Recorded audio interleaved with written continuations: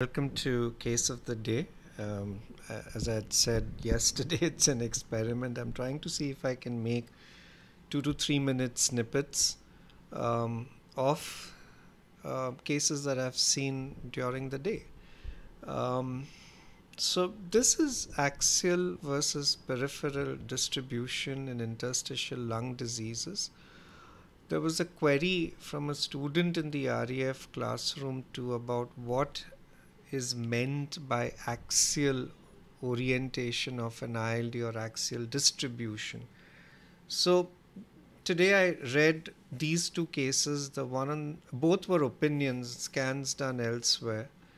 Uh, on the left is a 69 year old with hypersensitivity pneumonitis. On the right is an 87 year old with a known UIP pattern on, on, on follow up.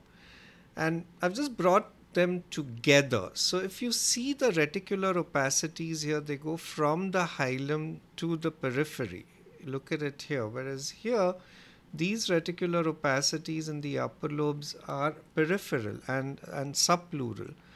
As we go towards the hila, you can again see the axial distribution, whereas here it's all subpleural peripheral.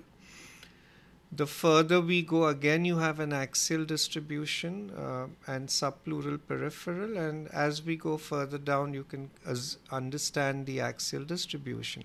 In fact, here we see a bit of a hexagonal pattern. There's a triple density sign on the left. I mean, those are the other findings of hypersensitivity pneumonitis. But this is the fundamental difference between an axial or central distribution and a peripheral subpleural distribution pattern.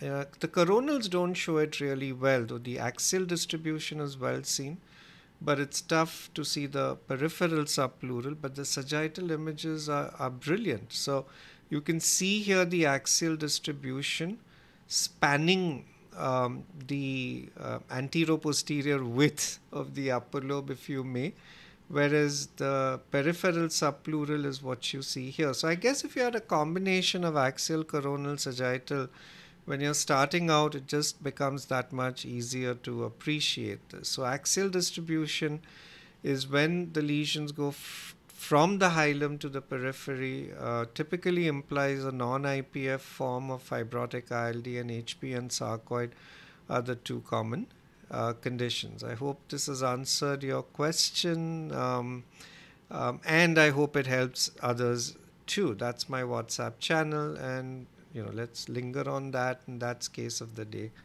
Uh, today thank you for viewing this